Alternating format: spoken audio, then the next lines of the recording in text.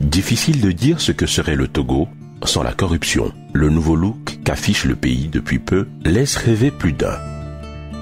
C'est le fruit des récentes réformes économiques réduisant un tant soit peu la corruption. Témoin de ce changement, les populations exhortent le gouvernement à maintenir le cap et plaident pour une meilleure gouvernance. Nous avons difficulté d'électricité et puis d'eau. Mais pour l'eau, c'est un peu mieux. Mais pour l'électricité, nous sommes obligés de faire des araignées sur des distances. Et cette fois, les poteaux tombent et créent des, des courts-circuits. Cette fois, c'est des enfants qui, qui passent par là et sont électrocutés. Il faut que l'État sanctionne ceux qui pillent les dénis publics, ceux qui vident l'argent de l'État. Il faut que l'État arrive à les sanctionner et comme ça, d'autres ne le feront pas. Et l'argent maintenant va rentrer dans la caisse et ça permettra à l'État de penser à nous qui sommes dans les zones reculées. gouvernement do kɔnjiwo da dzia contrôle ɖeke ŋgba le na nyi o ɖo yi kɔnji fifi dzia wola va va kpɔ ame ya leke enu gɔme no va kpɔ ame ya leke wola wɔ nɔ ɖo de c'est comme gouvernement le gouvernement le wo le fi o voa o me ne le le le le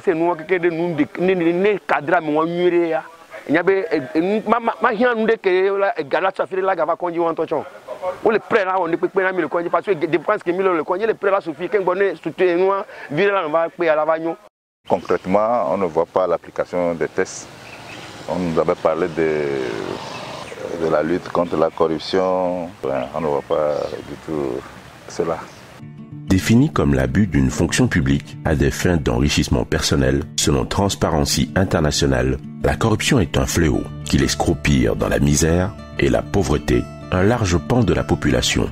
Une population qui espère goûter, un jour, aux fruits de la bonne gestion.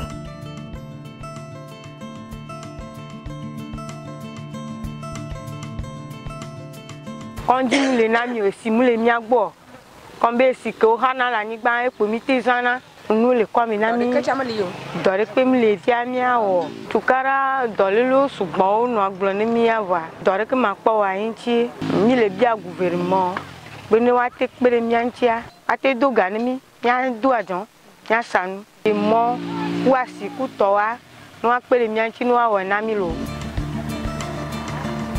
Le mi le mi le dɔvia lɔa ya yi ɛɛ le kpasito ne wosɔ ve kpe ɖo ɖea yi wa gblɔ be mi ne yi kɔdzi gã vɔ kɔdzi gã ne mi be si nana kpoa mi do trɔ gbɔna va na home mi do anɔna egbe kudo etɔwo zã ne woawɔ susu ɖe akpɔ axɔ ne mia ala dɔtsi ne mi. La corruption a des impacts négatifs sur les plans social, politique et économique.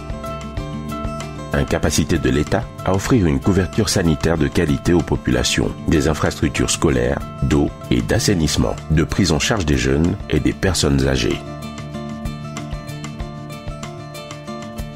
Elle détruit les bases de la démocratie, déstabilise le pays, menace la paix et la sécurité et tue les fondamentaux de l'économie.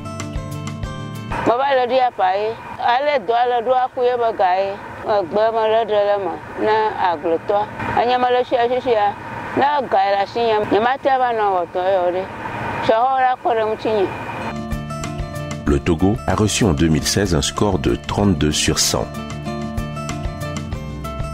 Selon l'indice de perception de la corruption de Transparency International, il est le 116e pays le plus corrompu au monde ou 23e en Afrique sur 171 pays classés. Une nouvelle dynamique de lutte contre ce fléau est en cours, portée par la société civile pour venir en appui aux efforts du gouvernement. ANC Togo félicite le gouvernement pour euh, l'ensemble des, des actions de réforme qui ont été faites en vue de promouvoir la bonne gouvernance, la transparence et la lutte contre la corruption au Togo. Nous sommes sur la bonne voie avec l'ensemble de ces réformes, mais nous devons poursuivre les réformes. Il faut assainir la gestion des dépenses. Et il y a des instruments, des bonnes pratiques qui existent. Il faut informatiser les systèmes. Il faut éviter que l'argent passe entre les mains des gens. Ensuite, il faut informatiser aussi les moyens de paiement. Aujourd'hui, le Rwanda, c'est un modèle. Au Rwanda, un petit paiement est fait directement par carte de crédit. Au niveau du Togo, on peut essayer d'appuyer les banques pour euh, vulgariser les cartes de paiement. Il faut éviter que la corruption devienne la norme acceptée des citoyens et un mode de vie. À la volonté politique, il faut exercer un contrôle rigoureux sur les actes des fonctionnaires et des opérateurs économiques et encourager la dénonciation. Il faut renforcer l'efficacité des organes de contrôle. Il faut les doter d'équipements, de moyens. Il faut que ces organes fassent aussi le travail de manière professionnelle pour atteindre les buts visés pour lutter contre la corruption sur toute la chaîne. Les auteurs et les complices de corruption, il faut les sanctionner. Parce que tant qu'on ne les sanctionne pas, alors les gens vont demeurer dans ces mauvais actes-là. Et donc, où que nous soyons, et que tout ce que nous faisons, nous devons euh, faire pour s'assurer qu'il n'y ait pas de corruption, afin de pouvoir donner le sourire à tous ces Togolais-là qui ont besoin de nos actes quotidiens pour les aider à sortir de la pauvreté. Et en luttant maximum contre la corruption, nous allons certainement donner le sourire à tous ces gens-là. La corruption, c'est une atteinte contre notre Créateur. Toutes ces personnes qui ont une responsabilité, ces personnes doivent mener la responsabilité dans une conscience droite. Quelle que soit ta confession religieuse, nous avons la pratique de la morale, la vertu de la morale qui nous interpelle. Éviter la corruption, c'est éviter d'hypothéquer le développement du pays et surtout l'avenir des enfants.